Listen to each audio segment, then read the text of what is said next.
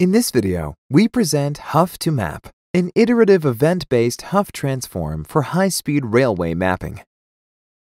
A continuous rise in railway transportation demand leads to a need for a more efficient network usage.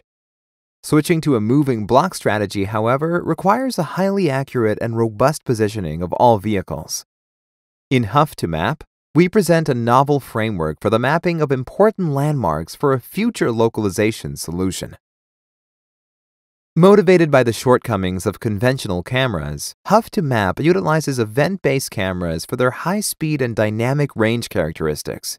A custom high-speed iterative Hough transform for event data is used to detect and track pole-like structures. Event cameras produce asynchronous event tuples instead of periodic intensity frames, which therefore require new algorithms. Using a novel, iterative Hough transform, a set of events is projected into a Hough space in real time. Maxima in the Hough space correspond to detected lines in the video stream. Assuming a locally constant vehicle velocity, line detections are tracked over time using a second Hough transform. The angle of a detected line in the second Hough space directly correlates to the distance between the object and the vehicle.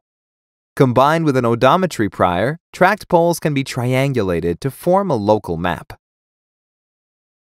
We evaluate the performance of Hough2Map on two real-world railway datasets. Trajectory 1 is a low-speed track in an industrial environment. For this dataset, an accurate ground truth map is available. A significant number of distant poles make this a challenging test. The achieved mapping root mean square error is 1.152 meters. Trajectory 2 is a more realistic scenario along a public tram line at higher velocities and with diverse environments. For Trajectory 2, no ground truth map is available. A qualitative map is obtained by manual annotation from satellite images. For the more realistic scenario, a detection reliability of 92% can be achieved. Missing poles arise due to occlusions or large violations of the constant velocity assumption. Additional detections which are not in the ground truth map are mainly due to non-map structures. We have introduced a novel real-time iterative event-based Hough transform to detect and track pole-like structures. A high reliability and accuracy have been shown in real-world scenarios with challenging lighting and high vehicle speeds.